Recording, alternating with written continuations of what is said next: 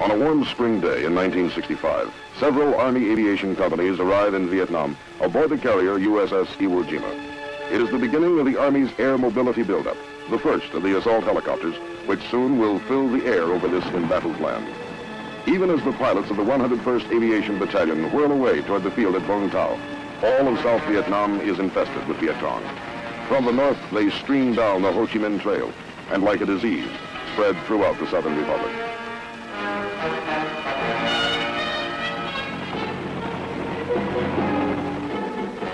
Into this setting come the first of the Screaming Eagles, the aviation crews of Company A, forerunners in the massive American military buildup to stop the communist enemy.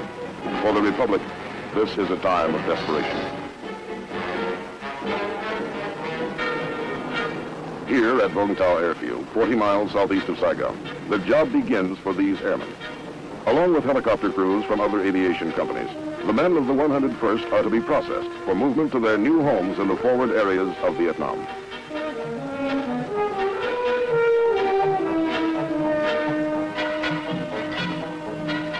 Their mission now is to create the helicopter bases from which U.S. Army forces can be flown into combat against the Viet Cong. Quickly now, they make ready. In the next 90 days, before the airborne infantry arrives, these men will do a man-sized job. On the 29th of July, 1965, the 1st Brigade of the 101st Airborne Division arrives at Cam Ranh Bay.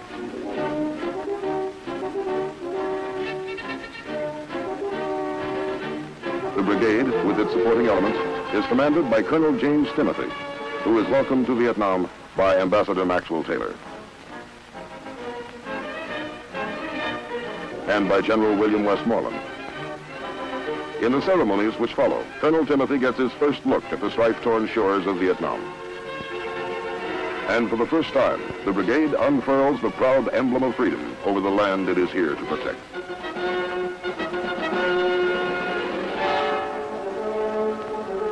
To Ambassador Taylor, the occasion holds a special meaning, as the one-time commander of the 101st talks to his son, Captain Thomas Taylor, now a member of the Screaming Eagles. Concluding the day's events, some of the airborne infantrymen stage a parachute jump for Ambassador Taylor and General Westmoreland. It is to be one of the few jumps these paratroopers will make in Vietnam. The Screaming Eagles descend toward the earth and the unknown hardships of jungle warfare they will face in the months ahead. Within two weeks after their arrival at Cam Ranh Bay, the Screaming Eagles are sent northward on their first combat operation. As they sail for Qui Nhon, 130 miles up the coast, it is mid-August, and the brigade hasn't yet had time to establish its permanent home base in Vietnam. While the Vietnamese are celebrating the Lantern Festival, the men of the 327th and 502nd are moving inland from Qui Nhon to An Khe in the Central Highlands. Their mission is to clear and secure the An Khe area as a base camp for the U.S. 1st Cavalry Division Air Mobile, which will be arriving from the United States in a matter of days. At Bao Mang Pass, overlooking An Khe, the landings begin. After months of special training at Fort Campbell, Kentucky, this is it, the moment every man knew would come. A Viet Cong main force battalion has been reported in the area, and the airborne infantrymen expect instant contact.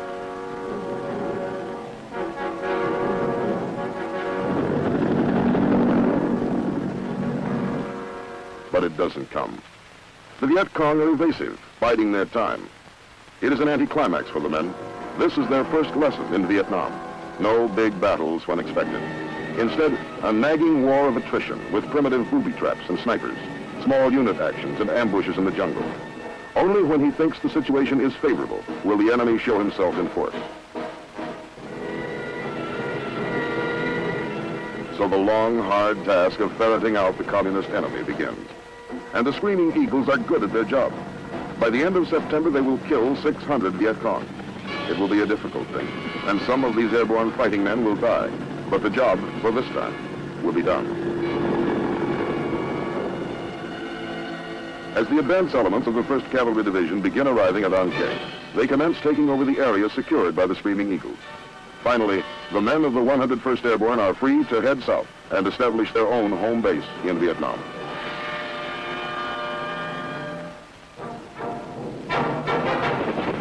From From and the Central Highlands, the brigade moves 170 miles to the coastal town of Phan Rang. This is to be their permanent camp, as soon as it can be built. But weary from their campaign in the hill country, they work throughout October until the base at Phan Rang has been set up. General Westmoreland visits the Screaming Eagles on Thanksgiving Day, 1965, and inspects the camp at Phan Rang.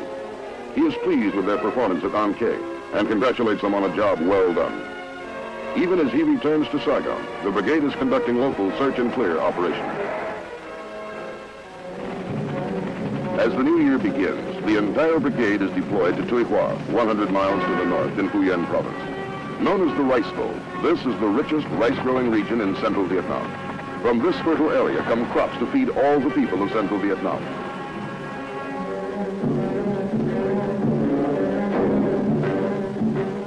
The Viet Cong have been seizing the harvest and collecting unbearable taxes from the frightened farmers. Now come the Screaming Eagles to protect the rice harvest and stop the Viet Cong. Codename Operation Van Buren. The orders read, search out the enemy in the Tuy Hoa sector and destroy him. This assignment will be tedious. The VC desert their dwellings and avoid confrontation with the Americans. Yet the district is infested with an enemy who makes night raids and continues to molest the farmers. The search goes on.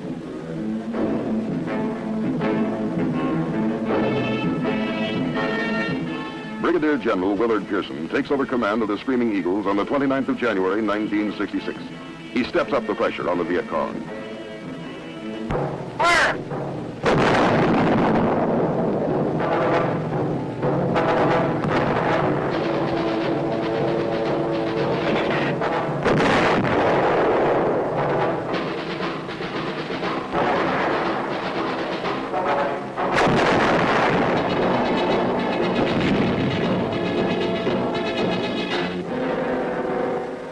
Across the broad reaches of Yen province, the Viet Cong are pursued. For the most part, they evade capture and withdraw to disappear in hidden underground sanctuaries. In the wake of U.S. military operations, the enemy rice raids diminish. But the VC themselves mingle with the local people and often are bypassed, attacking our units from the rear at night.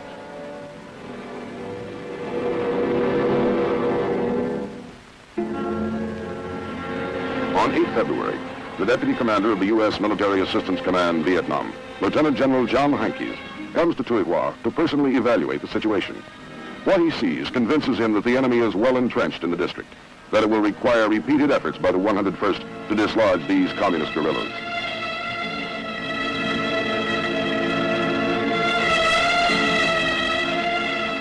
Operation Van Buren becomes Operation Harrison. February becomes March, and daily the Screaming Eagles patrol the jungles and foothills surrounding the rice fields of Tuy Enemy main force headquarters are located and hit by the U.S. Air Force with B-52 bombing raids. The men of the brigade go in to check the results and prepare field reports for Air Force intelligence.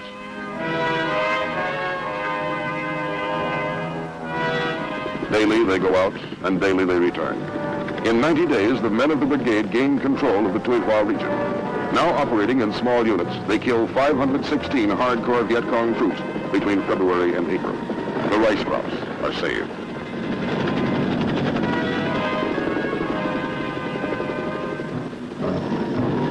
Once, early in March, the men of the brigade receive a surprise visit from one of Hollywood's movie heroes, Robert Mitchum. During this enjoyable interlude, there is talk about the glamorous girls of the film world. Mr. Mitchum is given the opportunity to fire some of the weapons of the real-life heroes in Vietnam.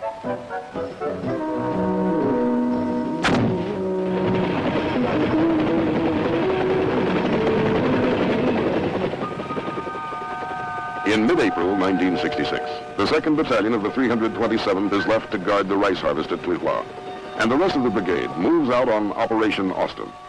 Two weeks in the area around Phan Thiet, then onward to Nang Co, near the Cambodian border.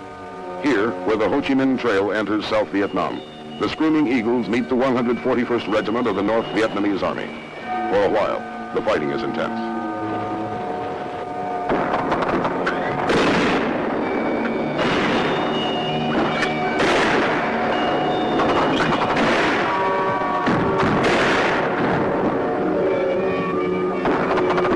The 502nd Airborne Infantry takes a number of casualties.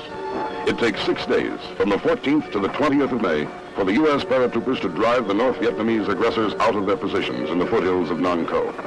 The communist regulars are well disciplined, well equipped, and tenacious. In spite of heavy ground fire, Army aviators get in with their dust-off helicopters, and the wounded are whisked away to safety. This is the enemy. When he was captured, he was carrying a machine gun made in Czechoslovakia. He won't be using it again.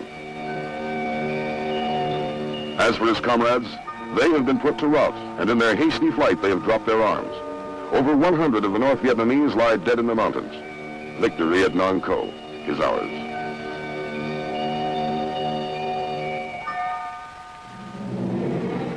But for the Screaming Eagles, the greatest testing is still to come. Far to the north in Kon province, the brigade launches Operation Hawthorne in the area around Dak To. Kon is a forbidding wilderness lying in the foothills of the mountain country which marks the border of Cambodia. It is the first week of June, and the air is heavy and humid. Until now, the enemy has held sway here.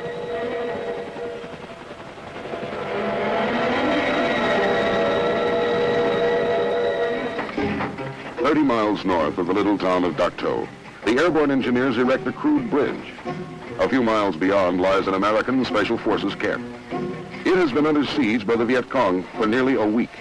Supplies and ammunition are badly needed, and relief troops must get through. The first of the trucks begins crossing.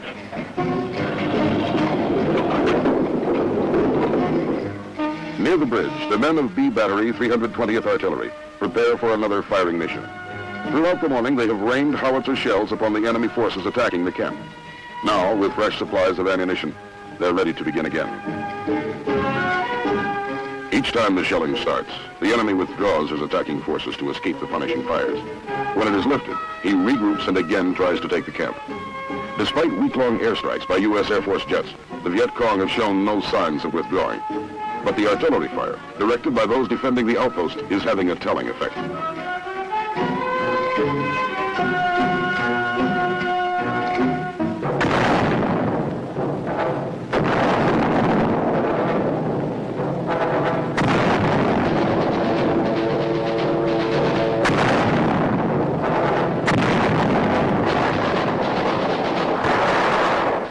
Screaming eagles are under fire. The enemy has come to silence the guns. Communist fire comes from everywhere.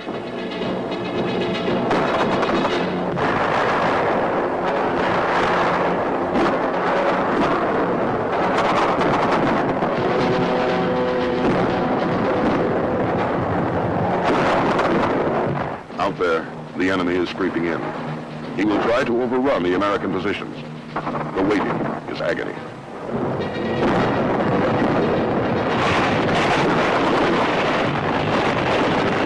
Then the enemy makes his move. This is it. Live or die.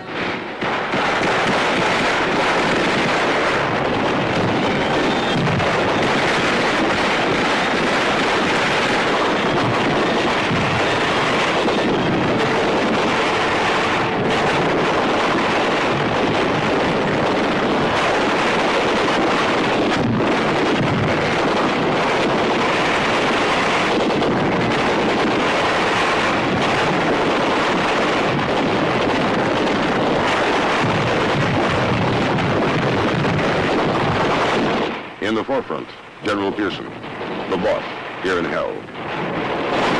From Bastogne to Vietnam, the tradition remains unbroken, magnificent. The Screaming Eagle.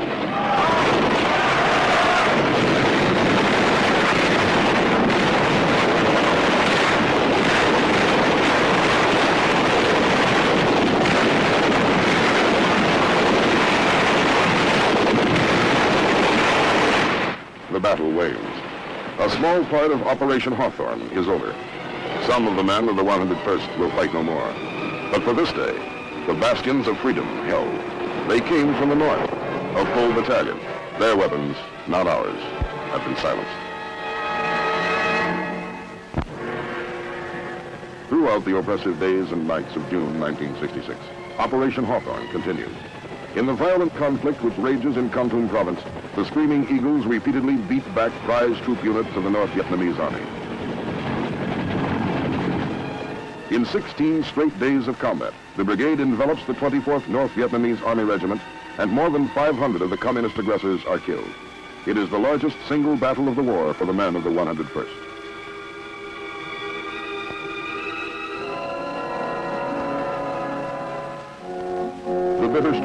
Preserve the freedom of this little Asian nation is made more bearable as each man is enriched in spirit and strengthened in his resolve.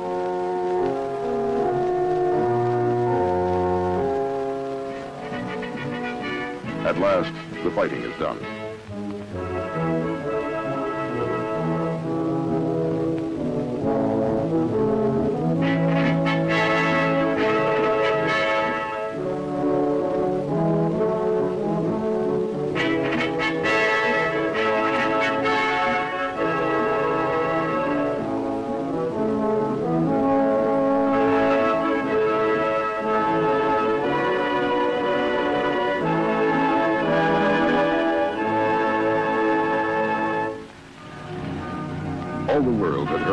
Gallant Screaming Eagles and the battles of Operation Hawthorne. In recognition of their outstanding victory in Kon Tum province, the premier of South Vietnam, Nguyen Cao Ky, comes to the little town of Dak To. Premier Ky and the deputy premier express the gratitude of their nation in a way that fighting men can understand.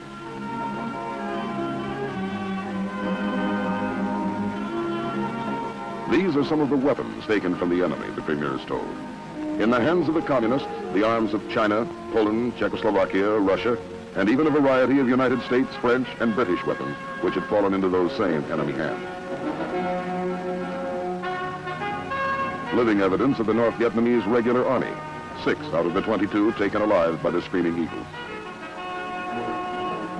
Premier Ky confronts the aggressors. You are lucky the Americans have taken you, he smiles.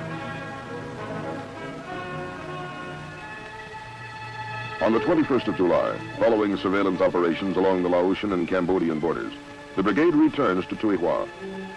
A new operation labeled John Paul Jones gets underway. Its purpose is to open and secure a 16-mile stretch of National Highway 1 between Tuy Hoa and Vung Ro Bay on the coast. The accomplishment of this mission will speed up logistic support of the Tuy Hoa area by permitting ships to unload at the nearby bay.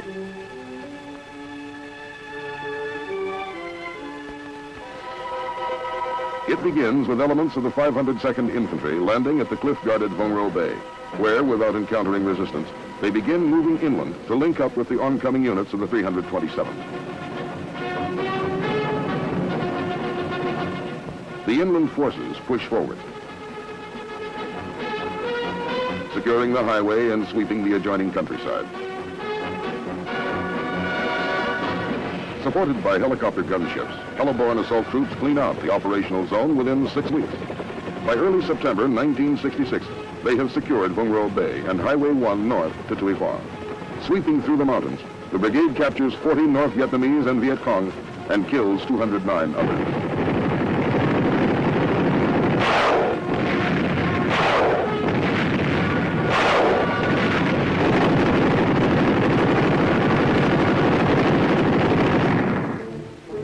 Operation John Paul Jones is still in progress, the engineers begin construction work on the connecting highway between Vung Ro Bay and Highway 1.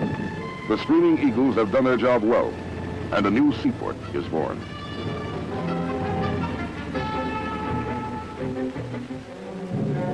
In the weeks which follow, the brigade protects the rice farmers as they harvest some 17,000 metric tons of the precious grain. Once again, the Tuy Hoa sector becomes a battlefield, and the Viet Cong suffer heavy losses, with 239 killed and 42 captured.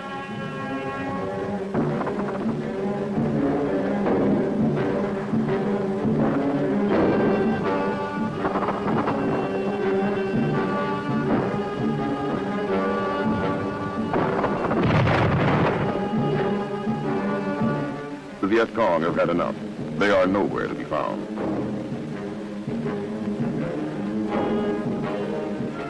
Eleven Vietnamese are found, however, in a Viet Cong prison camp.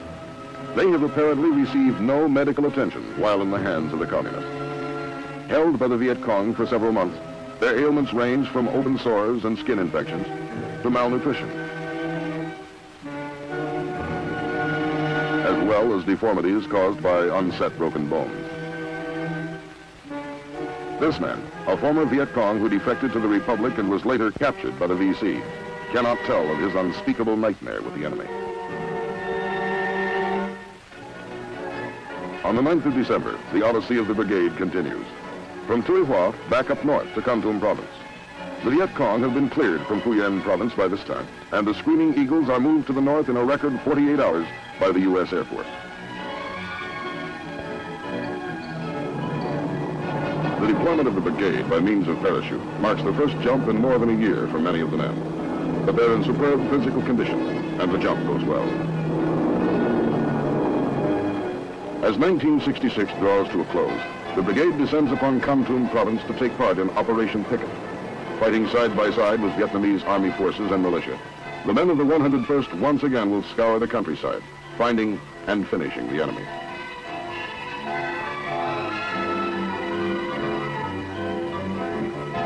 The operations in Kon province continue until the 21st of January 1967. Then, after more than a year's absence from their home base at Phan Rang, the brigade is ordered back for a rest. It seems a long time since the LSTs first moved the brigade up to Kin as they headed for their first combat around An Khe. Now, the LSTs are taking them home. On the 26th, the last convoy rolls into camp at Phan Brigadier General Willard Pearson welcomes the men home. It will be one of his last official acts as brigade commander.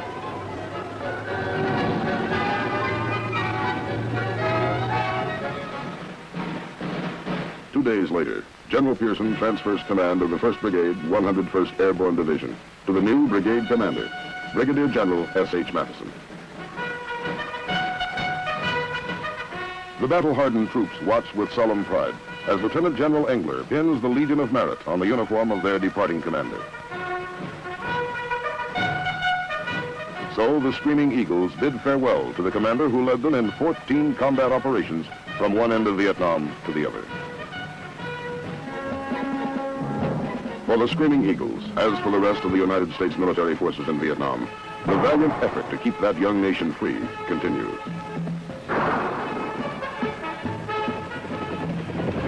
However far removed from our shores, the conflict between those who cherish human dignity and those who would snuff it out affects us all. In this belief, the gallant men of the United States Army stand steadfast, not only in Southeast Asia, but wherever they may be asked to serve in freedom's cause. They're sent northward on their first combat operation. As they sail for Qui 130 miles up the coast, it is mid-August, and the brigade hasn't yet had time to establish its permanent home base in Vietnam. While the Vietnamese are celebrating the Lantern Festival, the men of the 327th and 502nd are moving inland from Qui Nhon to An Khe in the Central Highlands. Their mission is to clear and secure the An Khe area as a base camp for the U.S. 1st Cavalry Division Air Mobile, which will be arriving from the United States in a matter of days. At Bao Pass, overlooking An Khe, the landings begin. After months of special training at Fort Campbell, Kentucky, this is it, the moment every man knew would come. A Viet Cong main force battalion has been reported in the area, and the airborne infantrymen expect instant contact.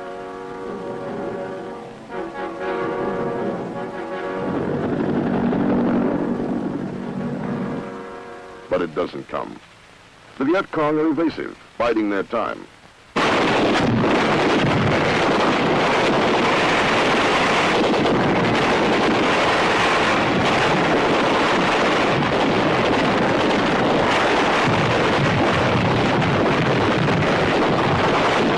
In the forefront, General Pearson, the boss, here in hell. From Bastogne to Vietnam, the tradition remains unbroken, magnificent. The Screaming Eagle.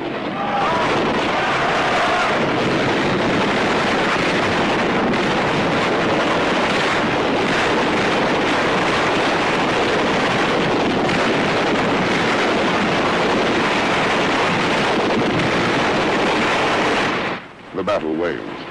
A small part of Operation Hawthorne is over. Some of the men of the 101st will fight no more. But for this day, the bastions of freedom held. They came from the north, a full battalion. Their weapons, not ours, have been silenced. Throughout the oppressive days and nights of June 1966, Operation Hawthorne continued. In the violent conflict which rages in Kon Tum province, the Screaming Eagles repeatedly beat back prize troop units of the North Vietnamese army. In 16 straight days of combat, the brigade envelops the 24th North Vietnamese Army Regiment, and more than 500 of the communist aggressors are killed. It is the largest single battle of the war for the men of the 101st.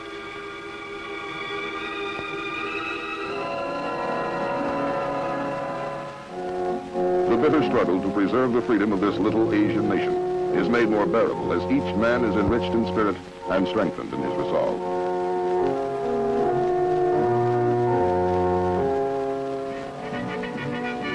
At last, the fighting is done.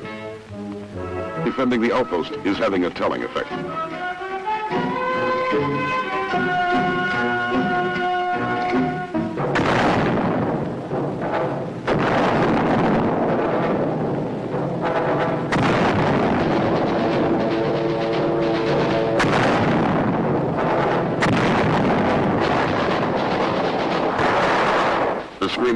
guns are under fire. The enemy has come to silence the guns. Communist fire comes from everywhere.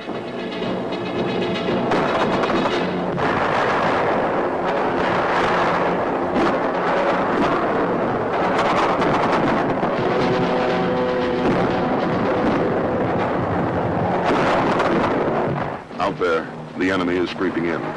He will try to overrun the American positions. The waiting is agony.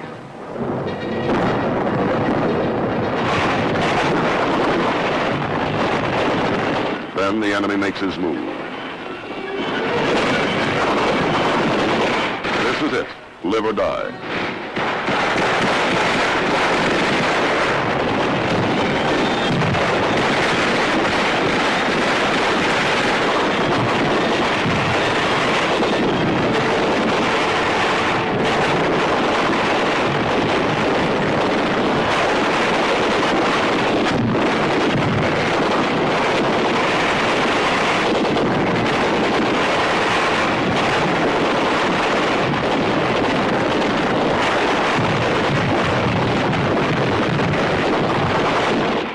forefront, General Pearson, the boss, here in hell.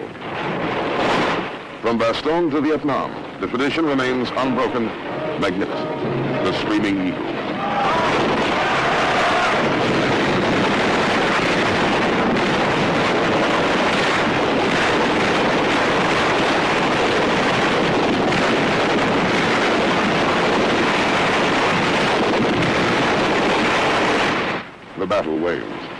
A small part of Operation Hawthorne is over. Some of the men of the 101st will fight no more. But for this day, the bastions of freedom held. They came from the north, a full battalion. Their weapons, not ours, have been silenced. Throughout the oppressive days and nights of June 1966, Operation Hawthorne continued.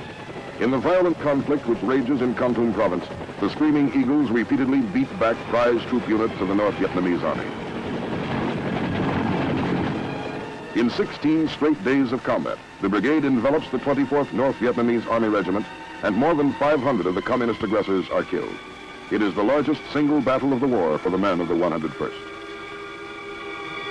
Longtime commander of the 101st talks to his son, Captain Thomas Taylor, now a member of the Screaming Eagles. Concluding the day's events, some of the airborne infantrymen stage a parachute jump for Ambassador Taylor and General Westmoreland. It is to be one of the few jumps these paratroopers will make in Vietnam.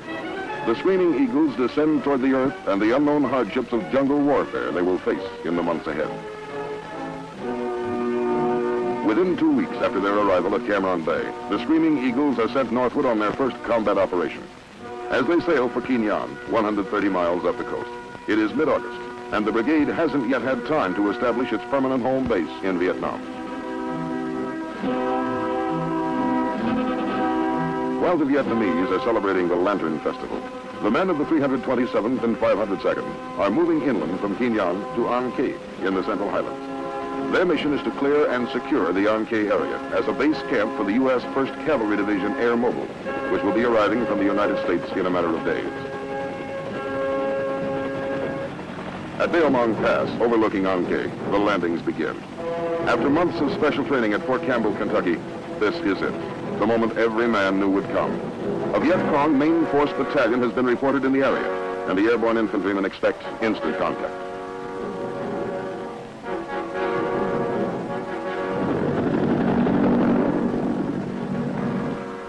But it doesn't come. The Viet Cong are evasive, biding their time. It is an anticlimax for the men. This is their first lesson in Vietnam. No big battles when expected. Instead, a nagging war of attrition with primitive booby traps and snipers, small unit actions and ambushes in the jungle. Only when he thinks the situation is favorable will the enemy show himself in force. So the long, hard task of ferreting out the communist enemy begins. And the Screaming Eagles are good at their job. By the end of September, they will kill 600 Viet Cong. It will be a difficult thing, and some of these airborne fighting men will die. But the job, for this time, will be done. As the advance elements of the 1st Cavalry Division begin arriving at An Khe, they commence taking over the area secured by the Screaming Eagles. Finally, the men of the 101st Airborne are free to head south and establish their own home base in Vietnam.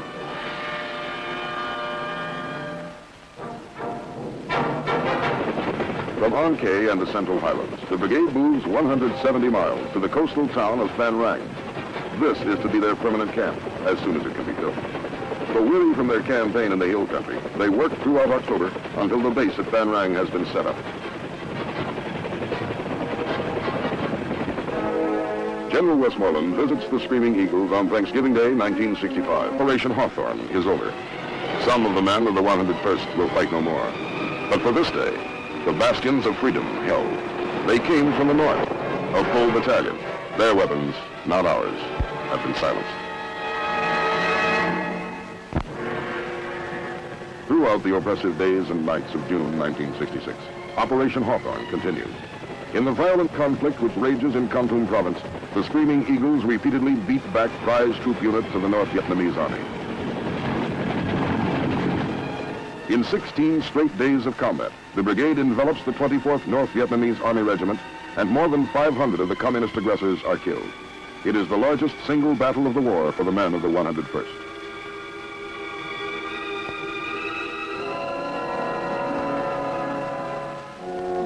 The bitter struggle to preserve the freedom of this little Asian nation is made more bearable as each man is enriched in spirit and strengthened in his resolve.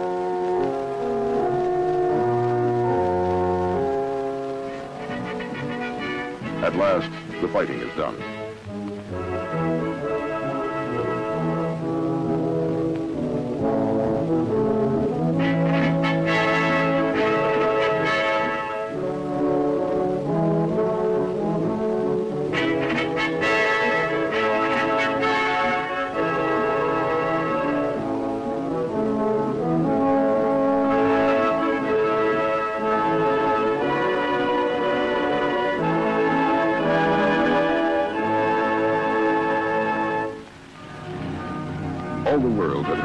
Gallant Screaming Eagles and the battles of Operation Hawthorne.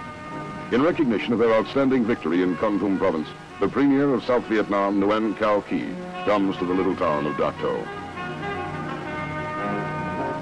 Premier Ky and the Deputy Premier express the gratitude of their nation in a way that fighting men can understand.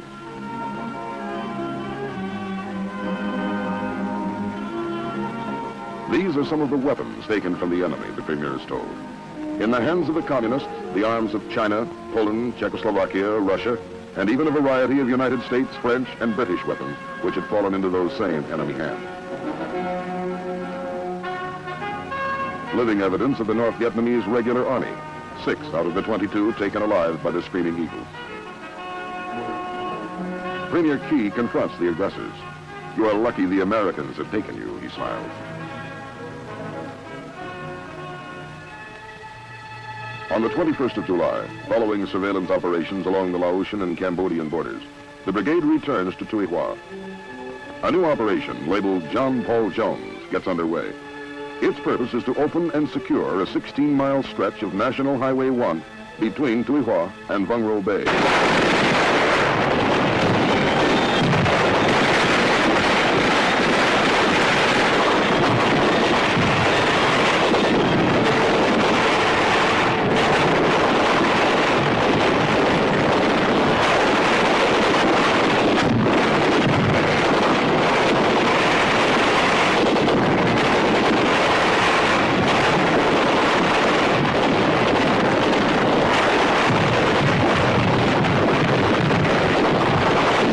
In the forefront, General Pearson, the boss, here in hell. To Vietnam, the tradition remains unbroken, magnificent. The Screaming Eagle.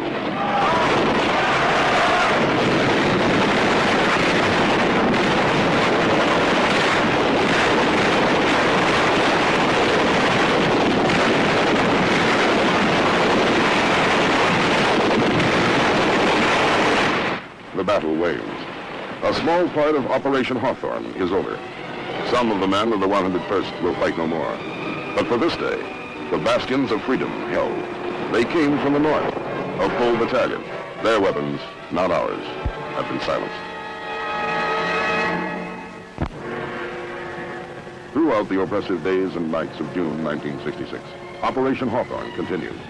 In the violent conflict which rages in Kon province, the Screaming Eagles repeatedly beat back prize troop units of the North Vietnamese Army. In 16 straight days of combat, the brigade envelops the 24th North Vietnamese Army Regiment, and more than 500 of the communist aggressors are killed. It is the largest single battle of the war for the men of the 101st.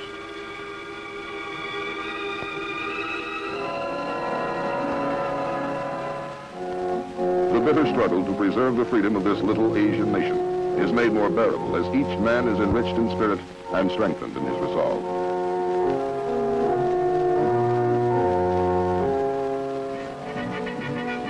At last, the fighting is done.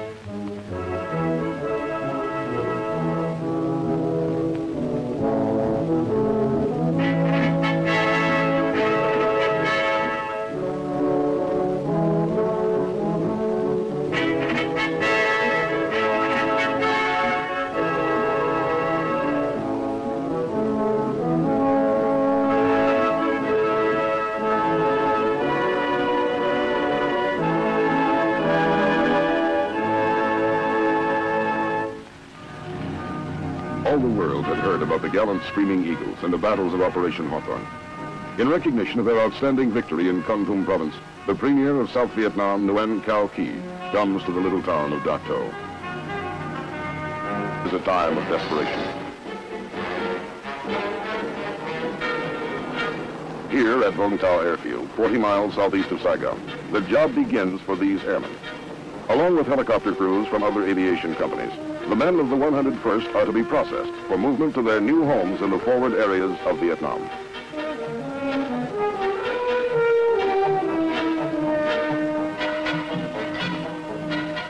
Their mission now is to create the helicopter bases from which U.S. Army forces can be flown into combat against the Viet Cong. Quickly now, they make ready. In the next 90 days, before the airborne infantry arrives, these men will do a man-sized job. On the 29th of July, 1965, the 1st Brigade of the 101st Airborne Division arrives at Cam Ranh Bay.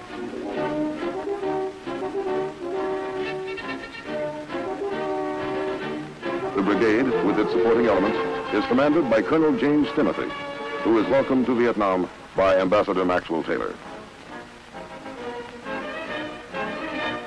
And by General William Westmoreland. In the ceremonies which follow, Colonel Timothy gets his first look at the strife-torn shores of Vietnam. And for the first time, the brigade unfurls the proud emblem of freedom over the land it is here to protect.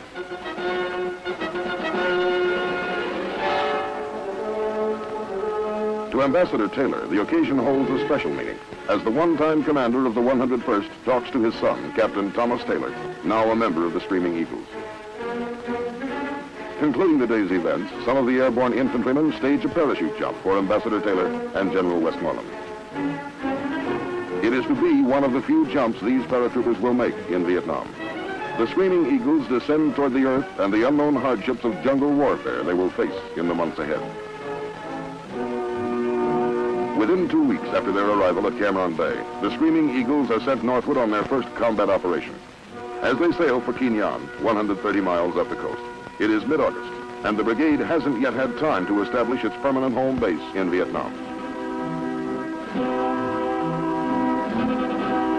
While the Vietnamese are celebrating the Lantern Festival, the men of the 327th and 502nd are moving inland from Qui Nhon to An Khe in the Central Highlands. Their mission is to clear and secure the An Khe area as a base camp for the U.S. 1st Cavalry Division Air Mobile, which will be arriving from the United States in a matter of days. At Bailmong Pass, overlooking An Khe, the landings begin. After months of special training at Fort Campbell, Kentucky, this is it. The moment every man knew would come. A Viet Cong main force battalion has been reported in the area, and the airborne infantrymen expect instant contact. They're ready to begin again. Each time the shelling starts, the enemy withdraws his attacking forces to escape the punishing fires. When it is lifted, he regroups and again tries to take the camp. Despite week-long airstrikes by U.S. Air Force jets, the Viet Cong have shown no signs of withdrawing. But the artillery fire, directed by those defending the outpost, is having a telling effect.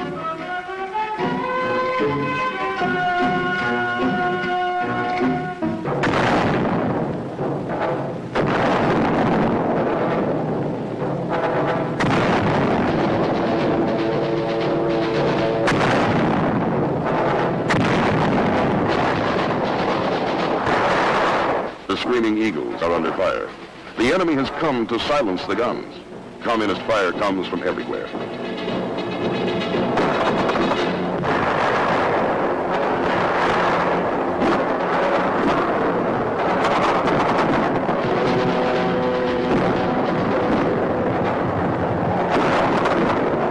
Out there, the enemy is creeping in. He will try to overrun the American positions. The waiting is agony.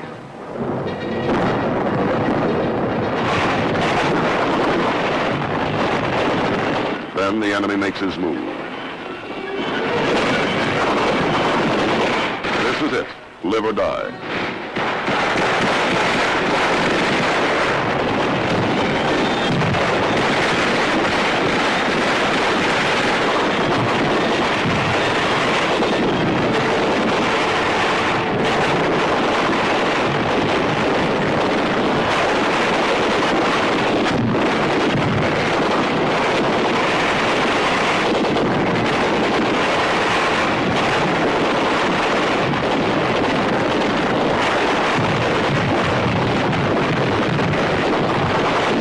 In the forefront, General Pearson, the boss, here in hell.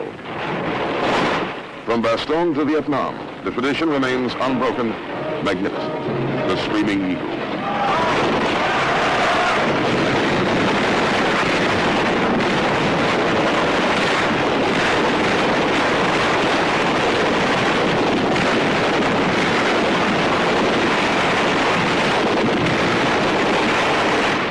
The battle wanes. A small part of Operation Hawthorne is over. Some of the men of the 101st will fight no more. But for this day, the bastions of freedom held. They came from the north, a full battalion.